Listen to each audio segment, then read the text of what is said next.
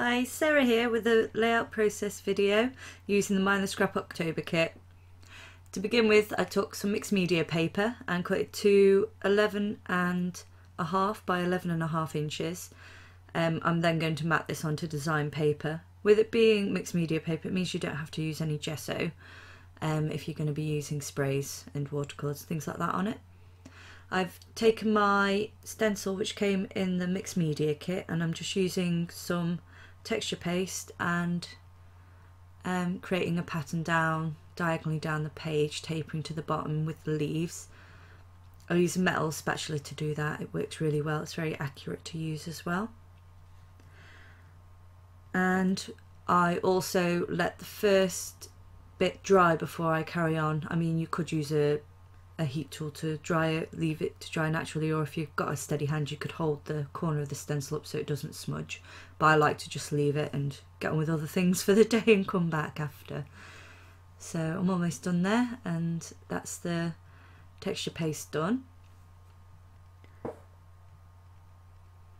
So now I'm getting my pattern paper. The pattern paper there is um, Colourful Leaves from the Autumn collection by Carta Bella. And I've taken spray inks out and with the scrap left over from my mixed media pad because it was A3 I'm just doing a bit of a tester on the side spraying some inks dabbing them up um, and choosing colours that go well with the leaves and the paper and the colours there that I've used are Distress Sprays in Carved Pumpkin, Candied Apple and Fossilised Amber and uh, Shimmer's colourings called Oh Say Can You See.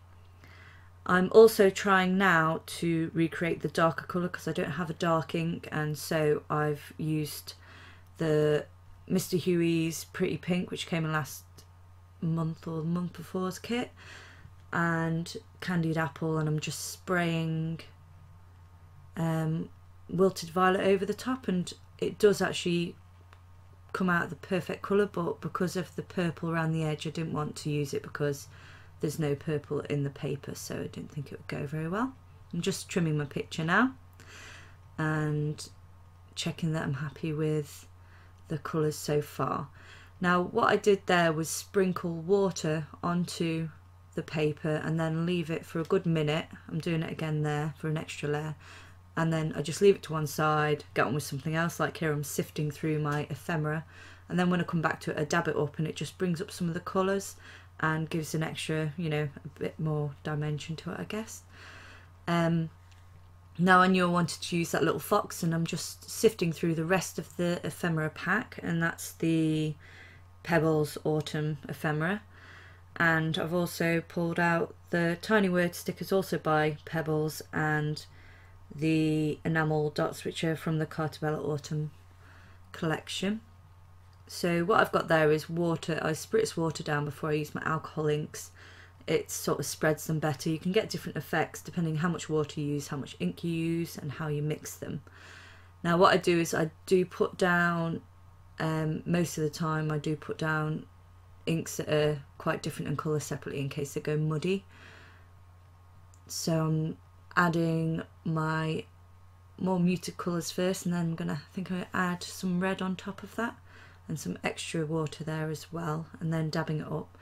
With this effect I've put my text texture paste down first so the colour sits onto the texture paste but if you add your colour first and then texture paste on top then you get a nice sharp white or whatever colour texture paste you use um, image off your stencil um, on top, which is really effective as well. But I wanted to do it this way around this time around. And there, um, now I'm on the main page. I'm doing the sprinkling water effect on there as well. And so I carry on messing around and dabbing up, adding spray, different bits to my paper until I'm happy with it. And in that bowl there is in the corner is just all the ephemera. I go through my ephemera, try and pick out what I think will work with the layout, what's the right colour, and then I'll gradually um, take bits out as I go along. I'm adding a bit of the green there just because I want to bring out the colour and as you can see there I'm happy with it now so I'm moving on. this is my pattern paper so what I do is gut out the middle so I can use the middle piece for more projects and then I glue my paper to the pattern paper and because I did use the mixed media paper it means it's not warped.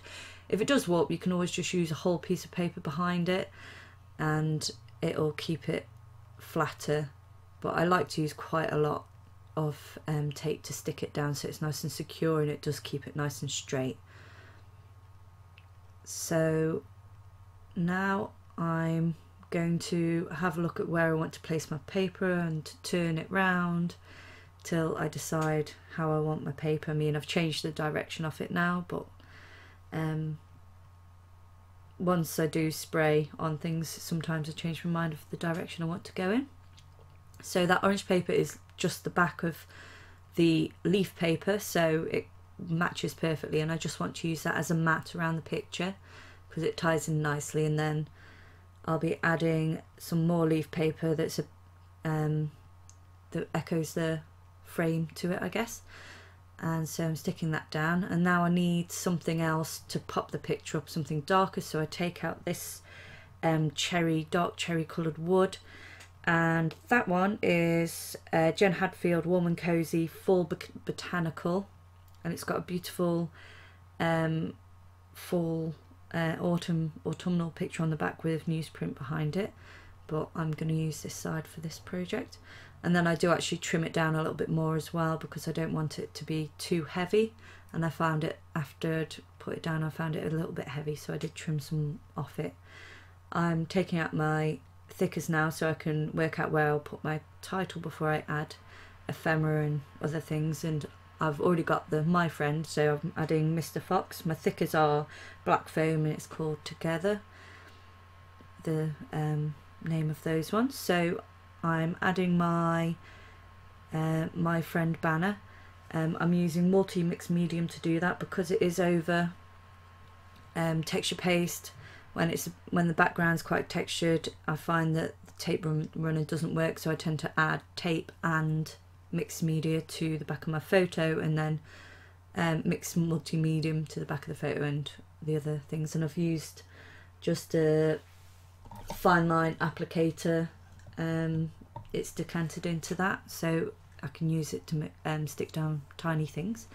So the fox is going on now and then I'm just literally throwing embellishments on where I think maybe they'd look nice I go over the top at the moment, so I add loads and then I gradually take them away as I decide where I think things should go and which things should stay and which things I take back out again.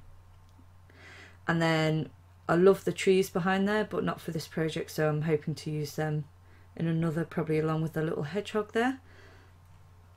So I keep messing around with them, trying to place them, and eventually I'll decide what I want and where and I switched those around because I wanted the smaller embellishment in the corner just because obviously I've got it like fine to thicker towards the bottom so it sort of echoes it a bit better there. And I'm adding my tiny word stickers there as well and I'm doing three at the bottom three at the top so it's um, mirrors in a way I guess. Um, so I'm gluing that down now, I'm happy with those.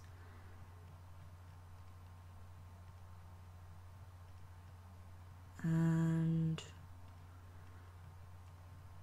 I think I'll probably add a few more sprays after this once I've got everything glued down.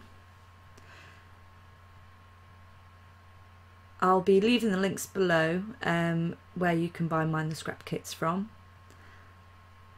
and along with um, my Facebook page um, so you can join my group if you want to and um, you'll know about when my next videos are coming out. This is my first video so feel, feel free to leave comments about constructive criticism. Um, I'll try and improve as I go along. Um, oh I've added some enamel dots now, I've added three at the top and three at the bottom and now I'm just adding a few more splashes of the mixed media that I've used so the sprays back just to add a bit more colour a few splatters that are a little bit darker leave them on a bit longer before I dab them up and then in addition to those, I'll be adding some black um, spritzing ink by Ducras Artiste, which is, um, oh, what's that one called? Black Night. And then I also use some Colour Shine in gold just to tie in the black thickers and just the gold just because it's pretty. And that's it done. And here's the pictures in a better light and some close-ups for you. Thanks for watching. Please like and subscribe if you'd like to see more from me. Thanks again. Bye.